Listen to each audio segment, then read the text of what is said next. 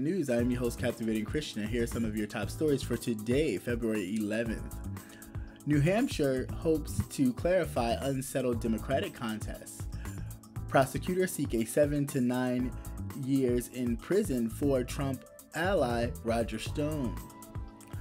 Puerto Rican born U.S. citizen wins lawsuit against Georgia, allowing him to get a driver's license.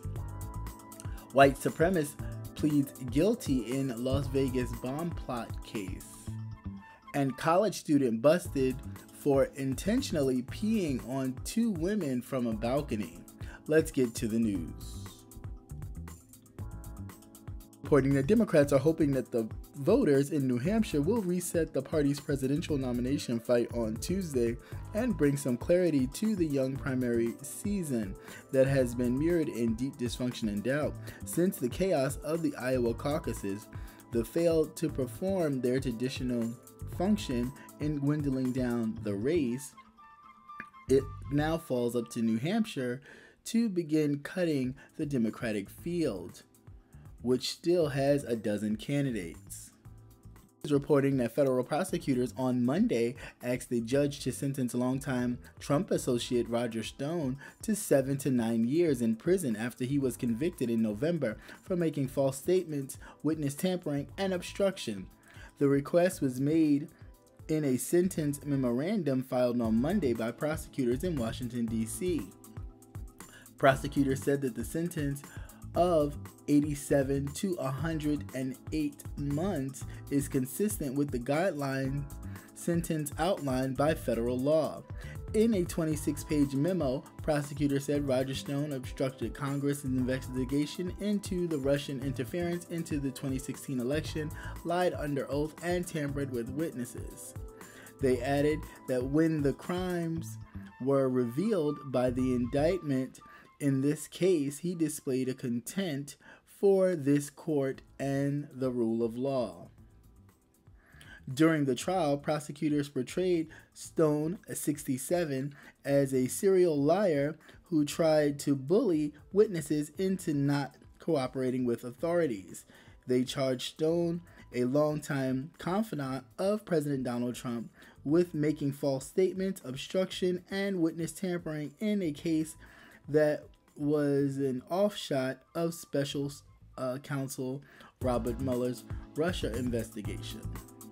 That a Puerto Rican born U.S. citizen has won a lawsuit filed against Georgia, allowing him to get a driver's license in the state. Kenneth Caban Gonzalez received his driver's license two and a half years after his first attempt, which ended in officials accusing him of submitting fraudulent documents, NBC has reported. Georgia's Department of Driver Services, DDS, agreed in a settlement for, to the federal lawsuit to give Kevin Gonzalez $100,000 and adjust its policies for U.S. territory born citizens to obtain driver's license. Now, these citizens will no longer have to take a written driving or culture test to transfer uh, their licenses.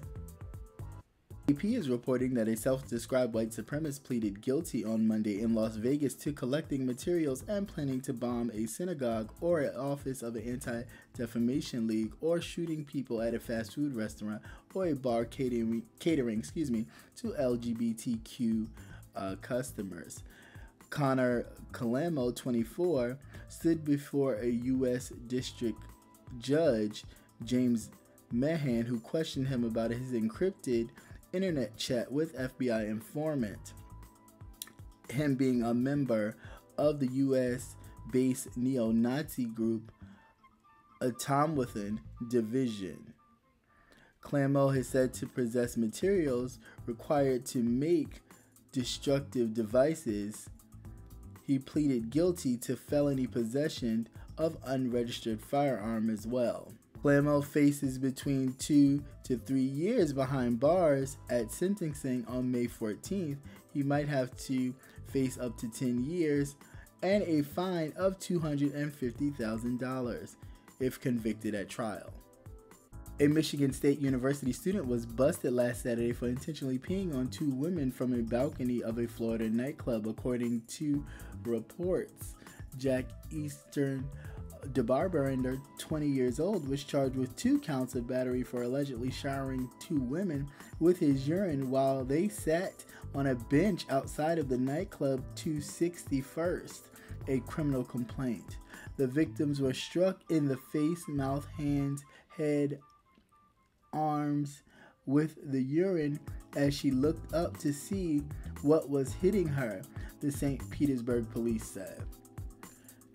The alleged P Brain st- college student was uncooperative with police, the documents show. DeBarber was released the same day on a thousand dollars cash bond, 500 for each charge, the jail record shows. And once again, thank you for watching CCN News. I am your host, Captivating Christian. And as always, be the change you want to see. If you want change, the change starts with you.